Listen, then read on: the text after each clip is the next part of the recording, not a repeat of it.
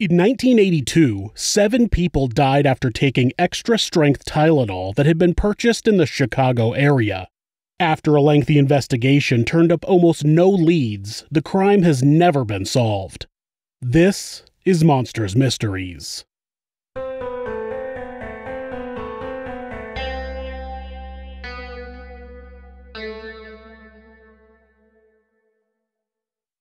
On the morning of September 29, 1982, 12 year old Mary Kellerman woke up with a sore throat and a runny nose.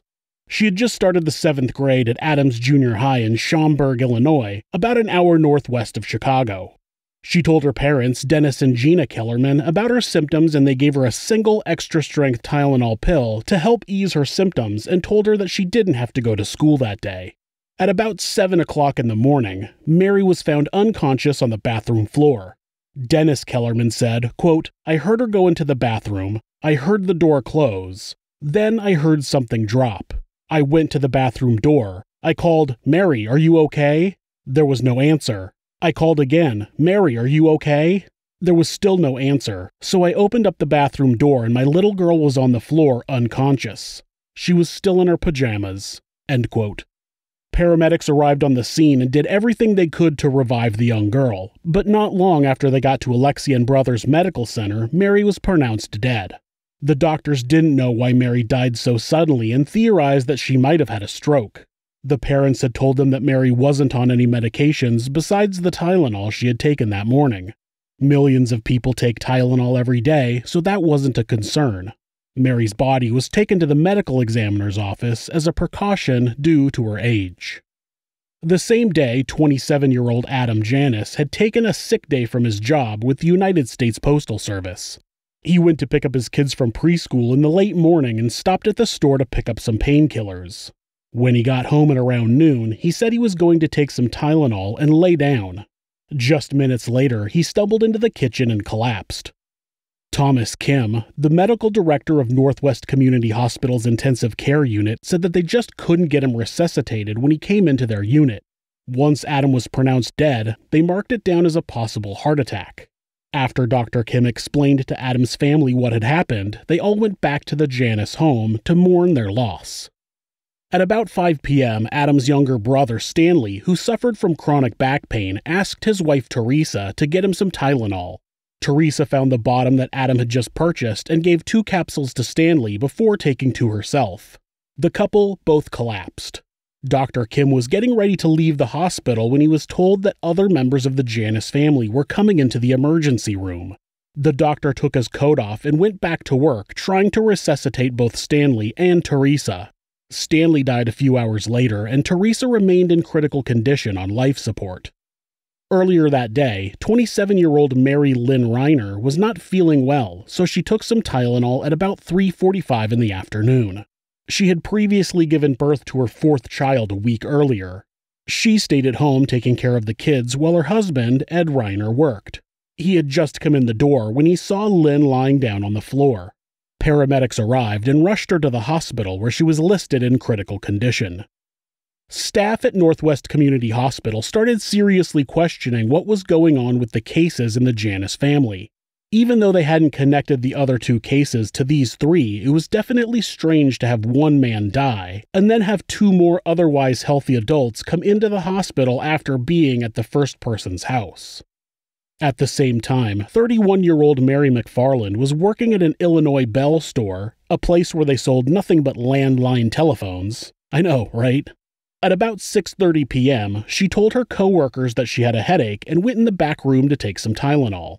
Within minutes, she fell to the floor. She was taken to Good Samaritan Hospital where she was listed in critical condition and placed on life support. It was assumed that she had ingested something bad. Nick Pishos, an investigator for the Cook County Medical Examiner's Office, was notified and began investigating the situation. Nick, along with nurse Helen Jensen and police officers, went to the Janus home to look for contaminants that could have caused the family members to all get sick. Nick described going into the house with the idea that he would immediately identify the cause of the illness, but he found nothing. He looked in the basement where they did some metal work because sometimes cyanide is used in metal polishing, but there wasn't anything harmful down there. Helen found a bottle of Tylenol in the bathroom and counted six pills missing. Six pills, three victims. Helen was sure that it was the Tylenol. While Nick and Helen were headed back to the hospital with the bottle of Tylenol, 35 year old flight attendant Paula Prince had just landed at the Chicago O'Hare Airport and was on her way home. She stopped at the drugstore to pick up some Tylenol before heading back home. She took the Tylenol in the bathroom of her apartment and collapsed before she hit the bathroom doorway. Dr. Kim was beating himself up over not being able to figure out what was wrong with his patients. He knew that they matched cyanide poisoning, but couldn't figure out where they would have been exposed to it. At the time, the hospital didn't have the ability to test blood for cyanide, so he gathered blood samples from all of the victims and sent them to a special lab that could do the testing for him. Investigator Pishos had learned about Mary Kellerman's death earlier that day and that paramedics had inventoried a bottle of Tylenol when they were at the house that morning. Nick had a police officer go pick up the bottle from the house and he noted that the lot numbers were the same on each bottle MC 2880. He called the medical examiner and told him what he found. Medical examiner Edmund Donoghue told Nick to open the bottles and smell them. He opened both bottles, and as he poured the contents out, he was overwhelmed with the strong smell of almonds. They had finally found the source of the cyanide poisoning. Cyanide is an asphyxiant. It blocks the red blood cells from receiving oxygen, so even if you're breathing in, no oxygen is being absorbed into your bloodstream. The finding was confirmed when Dr. Kim got the lab report at 1 a.m. the next morning the blood samples had over 100 times more cyanide than was necessary to kill a human being. Later that morning, Mary McFarland was pronounced dead at 3:15 a.m., and then Mary Lynn Reiner was pronounced dead at 9:30 a.m. Reports were coming out alerting different hospitals that there could be a connection between their patients and Tylenol. At 10 a.m. on September 30th, 1982, the Cook County Medical Examiner's Office held a press conference to tell people that they had found cyanide in Tylenol and that people should not take it for a while until they figure out what was going on. At this time, they had five deaths Mary Kellerman, Adam Janus, Stanley Janus, Mary McFarland, and Mary Lynn Reiner, plus Teresa Janus, who was still on life support. At 3 p.m. that day, Johnson & Johnson, the manufacturer of Tylenol, announced a recall from all of the product from lot MC2880. The realization that someone had intentionally laced Tylenol with cyanide with the express intent of harming people became very real. Authorities started getting together to investigate how the cyanide got into the Tylenol and how far the problem may have reached. They didn't know if this was an isolated incident or if it was happening countrywide. At 1:15 p.m. on October 1st, Teresa Janus was taken off life support and pronounced dead. Paula Prince was supposed to meet her sister to have dinner the previous evening, but didn't show up and wasn't answering her phone. That was already odd, but when she didn't arrive at the airport for her shift that day, family members called the police for a welfare check. Paula's body was discovered in her apartment at 5 o'clock that evening. When they saw the open bottle of Tylenol, they knew what the cause of death was going to be. With Paula Prince residing in the Chicago city limits, Mayor Jane Byrne held a press conference at 11 p.m. announcing the death of Miss Prince and informing the residents that all of the Tylenol would be removed from shelves in the Chicago area. It was one of the most significant announcements that the mayor had ever had to make. The deaths prompted a nationwide panic over tainted Tylenol. People were calling hospitals, poison control centers, and emergency services reporting that they or someone they loved had taken some Tylenol and wanted to know if they were going to die. Seattle's Poison Control Center informed its citizens that if they had indeed been poisoned with cyanide, they'd be dead before they even were able to reach the phone to make the call. On October 5th, Johnson & Johnson recalled all Tylenol products nationwide. It was 31 million bottles, valued at over $100 million. As bottles were being removed from the shelves, they were being tested for cyanide, and another contaminated bottle was found during the removal from a drugstore. An investigation of the manufacturing plant resulted in no evidence that the cyanide was being introduced at the factory. Authorities suspected that someone was taking bottles off of the shelf at the store, poisoning them, and then placing the bottles back on the store shelf. At the time, there were no safety seals on over the counter medications. You could just open the bottle, pull out the cotton, and you had access to the pills. During the investigation, tainted bottles of Tylenol were found right away at six stores in the Chicago area Jewel Foods in Arlington Heights, Jewel Foods in Grove Village, Osco Drugstore in Schaumburg, Walgreens Drugstore in Chicago, Frank's Finer Foods in Winfield, and another undisclosed retail outlet. Each store had one affected bottle with 3 to 10 poison pills inside, except for Osco Drugstore. It had two affected bottles. A month later, more tests identified one more tainted bottle that had come from a store near where Paula Prince had purchased her Tylenol. Tests showed that the specific poison used was potassium cyanide, which is used in fertilizer production, film processing, steel plating, and the manufacturing of other chemicals. They brought in Roger Arnold, a 48 year old amateur chemist who also worked as a dockhand at the warehouse that supplied Tylenol to two of the stores on the list. A search of his apartment turned up various weapons and two one way tickets to Thailand, plus a book that described killing people by stuffing poison into capsules. Despite that, they were unable to find any solid evidence that he was now dubbed the Tylenol terrorist. He was arrested on illegal weapons charges and was released on $6,000 bond. On October 6th, Johnson & Johnson received a letter demanding $1 million in order to stop the poisoning of the Tylenol. The handwritten letter instructed Johnson & Johnson to respond via the Chicago Tribune, but they didn't. They gave the letter to police who traced it to a man named James Lewis. Police were certain that James wasn't the killer. He was a con man who was already wanted in connection to the murder of an elderly man and a jewel robbery. After a few weeks of having the police and FBI looking for him, James sent another letter to Johnson & Johnson claiming that he had nothing to do with the Tylenol murders and he and his wife were unarmed. He signed it Robert Richardson, a known alias of James Lewis. James was arrested at the public library in New York City. The following week, his wife Leanne Lewis turned herself in. A handwriting sample from James matched the writing on the extortion letter, and his fingerprint was found on the page, but there was no evidence connecting him to the actual killings. Registration records for a hotel in New York showed that they were not in the Chicago area at the time the bottles would have been tampered with. Evidence showed that Leanne had been at work in New York that day, and witnesses say James met her for lunch. James was convicted of extortion and six other counts of mail and credit card fraud and was sentenced to 20 years in prison. He was released on parole in 1995 after serving 13 years. Following the arrest of James Lewis, no new leads surfaced and the case went cold. Tylenol reintroduced their product with new shrink wrapped seals and tamper resistant caps. In 1983, Congress approved the Tylenol bill that made the malicious tampering of consumer products a federal crime. In 1989, the FDA introduced national requirements for all over the counter medication to be tamper resistant. So, who filled those Tylenol capsules with cyanide? The most prominent theories are that either Roger Arnold or James Lewis actually did do it.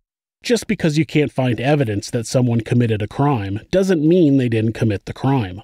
Police investigated James Lewis even after he was sentenced for extortion and could only ever find evidence that made him less likely to be the killer. Roger Arnold, however, eventually shot and killed a man named John Stanisha. Roger was upset at a bar owner named Marty Sinclair because he thought he had turned him into police. Roger went to shoot Marty, but shot John instead in a case of mistaken identity. Roger Arnold was sentenced to life in prison and died in 2008. Now, police say they cleared him, but anyone who's willing to shoot and kill someone out of retaliation still seems suspect in my book. It's still possible he had something to do with the Tylenol killings. Some people think that the killer is someone who wanted one of the victims dead and just spread the poison out across other bottles to cover their tracks. I guess you'd have to look into the family members of the victims, which I don't know that the police did. I imagine if anyone had taken out a big life insurance policy on any one of the victims, it may have raised red flags, but I don't know how easy it would be to look into those things now. Another theory is that Ted Kaczynski, the Unabomber, was responsible for the murders. His parents had a house in the Chicago area at the time, and his first bombings took place around that area. After he was arrested, the FBI asked if they could take a DNA sample, and Ted said he would if the U.S. Marshals stopped an auction they were having to sell off a bunch of his stuff. The U.S. Marshals said no, so Ted also said no, but he told the FBI that he never used cyanide. It may seem like a good fit at first, but Ted Kaczynski left his bombs places where more specific people would find them. Specific departments in universities, airline companies, computer stores. I don't think he wanted to take his rage out on any random person with such a wide range as the Tylenol murders. A woman named Michelle Rosen believes that the poisonings originated from Johnson & Johnson. Michelle, who happens to be the daughter of Mary Lynn Reiner, one of the victims, connected with Scott Bartz, an ex-Johnson & Johnson employee turned whistleblower.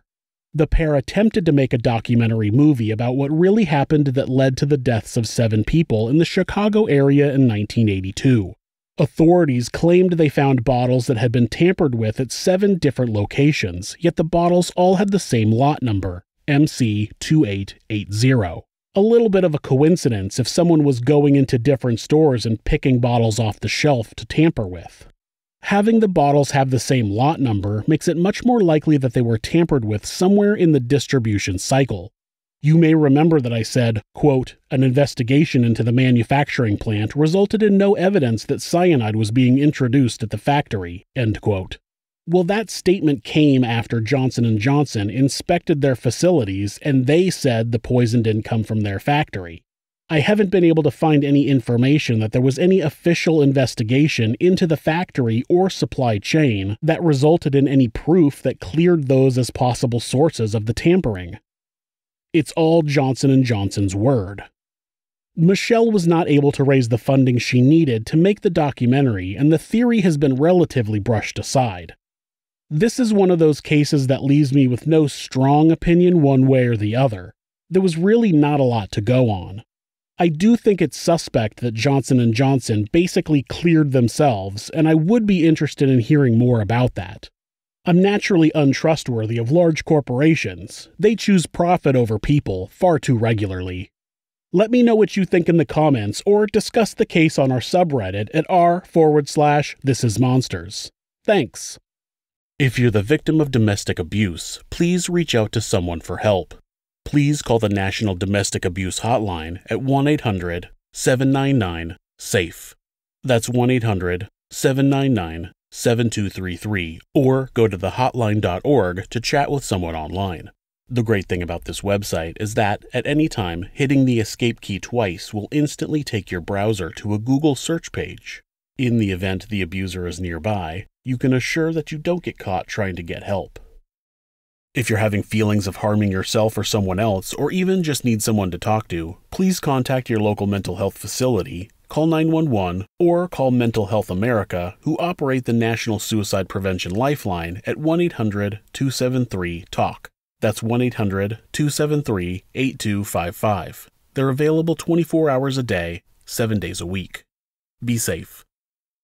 Thanks so much for watching this video. You can help us out by hitting the like button or leaving us a comment. You can also subscribe to the show to ensure you don't miss an episode. Also, remember that if you'd like to support the show, the easiest way is to donate a few bucks at Buy Me a Coffee or check out some of our merchandise at Teespring. You can find information on how to do that along with links to our social media at thisismonsters.com. Thanks again.